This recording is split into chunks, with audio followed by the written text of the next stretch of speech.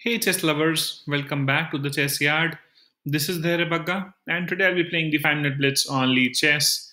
And during the game, I'll try to be as instructive as possible, like always, making sure that there's something to be taken away as a learning that helps you improve your game to the next level. Now, before I start with the game, I request you to subscribe to my channel and press on the bell icon so that you don't miss out on any of the videos that I'm posting up daily without a miss. So yeah, let's start with the game and see how it goes. Got the white pieces. I'll play the London system setup, which starts with d4.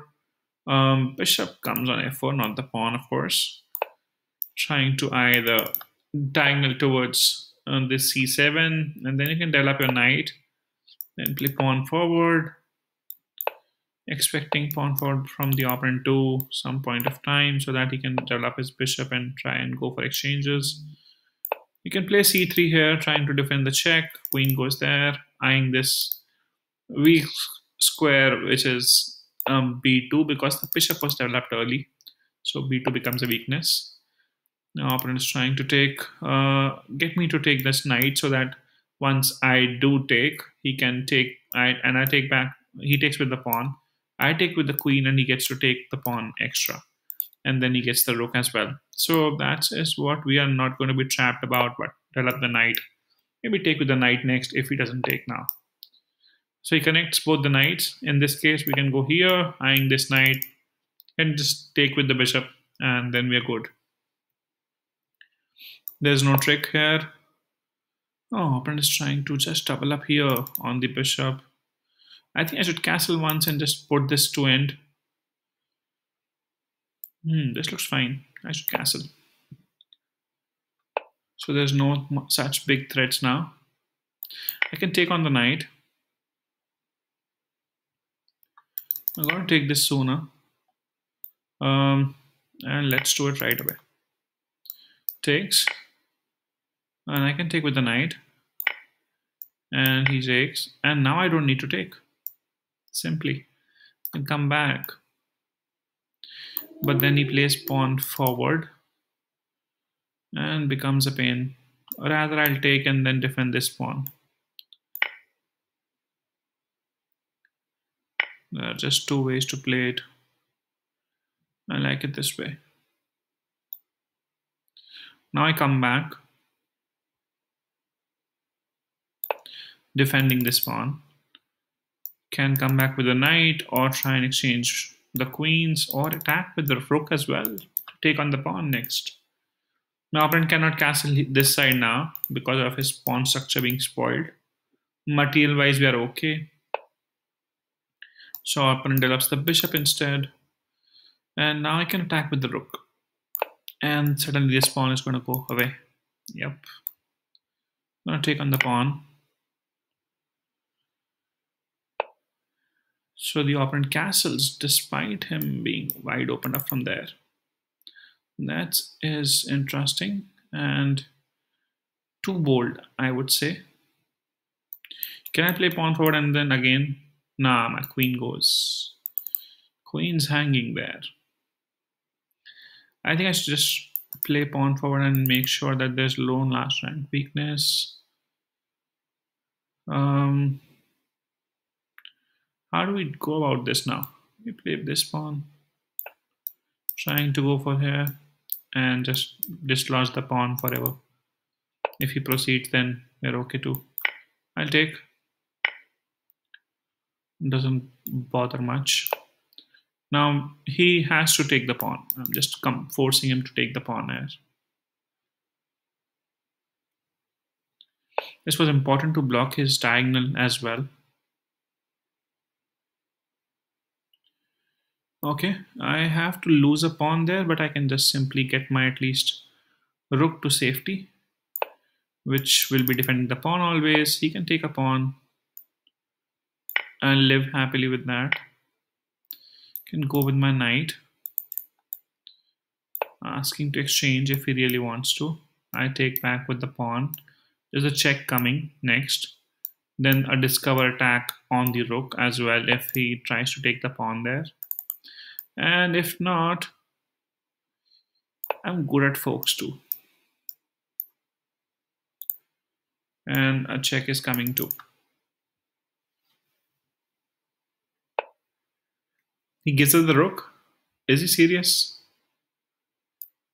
Is is he serious? I don't know. Gives the rook instead. That was weird. And he doesn't take the knight too. Wow. So I'll just get back with my knight. This makes more sense. Attacking the bishop. I thought he will take my at least the knight. It doesn't. Good for me.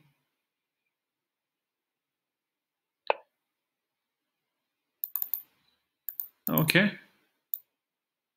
Now our primary task is just to exchange the queens off the board. Or to make his life miserable further which can be done by first of all removing the last rank weakness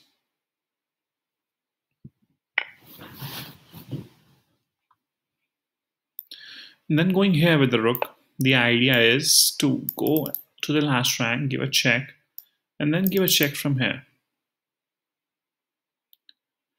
and then I have knight as well hanging around of course the rook is guarded with the queen Okay, let's give a check.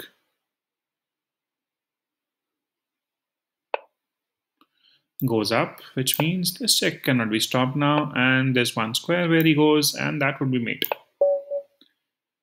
Nicely done, defeating 1989 is always nice, and he has been defeated once earlier as well. Oh, he defeated me last time. Okay, so that's an equalizer. Always helps.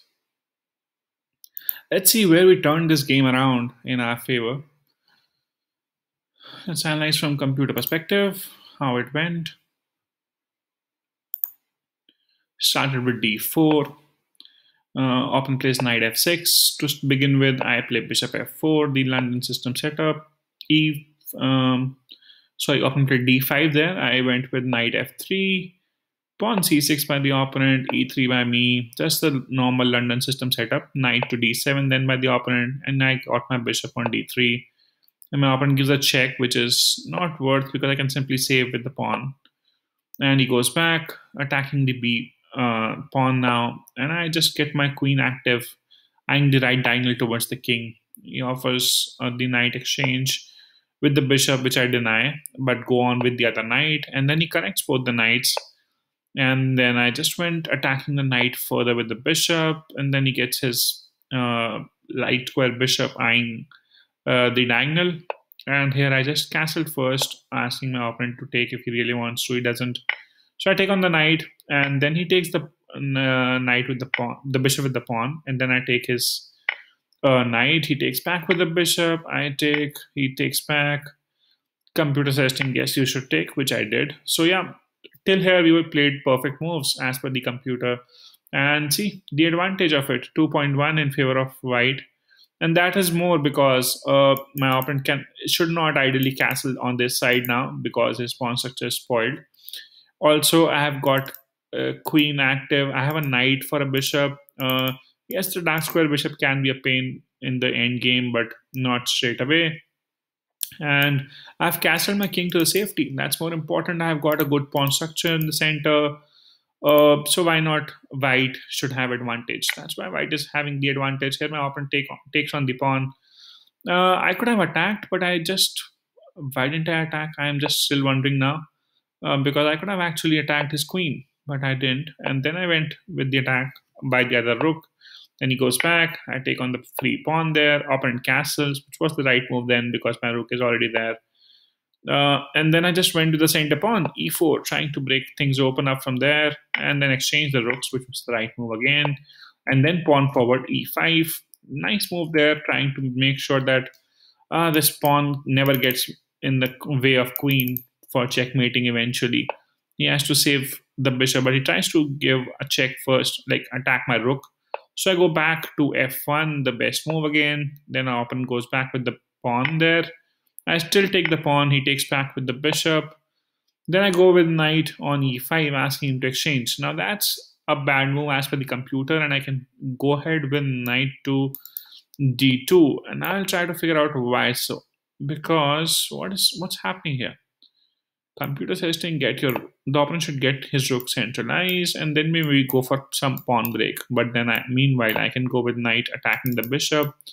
Bishop goes back, and I can pin the knight to or pin the bishop to by playing uh, my queen here. That is also one of the moves which computer was recommending for a fraction of a second.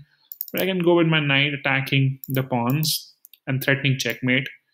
Uh, it's not mate actually can move. So opponent would have just kicked my knight away. And now computer is saying attack the queen instead, which he can just deny. And if he denies taking, there's a check coming. He goes sideways. What is the follow-up? Ah, knight sacrifice. How can ever possible I see this? I doubt it. If I sacrifice the knight, and he does take, oh, then I go here, forgetting my last rank. My opponent can just sidestep, and once I start taking stuff here, that would be a quick mate. Check with the queen, opponent goes here. Maybe rook can give a check as well. I don't know. Should work. Yes, mate into goes here. And then, okay, we can follow up. Ah, pawn will do the checkmate as well. so th yeah, that can be funny. Uh, but yeah, that was knight sacrifice. I was never going to see that. But instead, uh, I just went with knight to e5, where my opponent didn't take and just played pawn forward, which was a blunder. I just forked the pieces. He saves the bishop. I took the rook. He can take back with the queen, but he doesn't. Instead, takes on the pawn, and I also take on the pawn first. He still doesn't take, and this time I decided, okay, I'll save my knight at least. And then I go with my knight to c6. Opponent retrieves the bishop on f6. I go with the uh, pawn forward first, trying to just make sure that my last rank weakness is not there anymore. It's always good to just ensure that there's no last rank weakness. You don't want to get checkmate in the last rank by a 1900 player. So you just go ahead and trying to attack and follow up with some checks. And that's what happened. I just gave a check. He goes up and then forward with another check. And this time he moves his king instead of getting the bishop in between. The best move was to put his bishop in between, and I just play pawn forward. And over the time, he'll just lose everything uh, very quickly because the bishop is, is cannot be saved. Actually, I'll just take with the pawn, and I've got two pieces extra. Then and it's almost over. But instead, my opponent moved towards the wrong square, which was h7, and that was mate in one from there. Yeah, quickly changed all around. So be aware of the knight forks, which can land up any point of time. Not and make sure that opponent get doesn't block your diagonals with his pawns. So just try and spoil his pawn structure initially, and if possible, and then try and take advantage of it. I hope you like the video. Do let me know your feedback. Keep watching and sharing. Thanks for your time. Take care. Bye bye.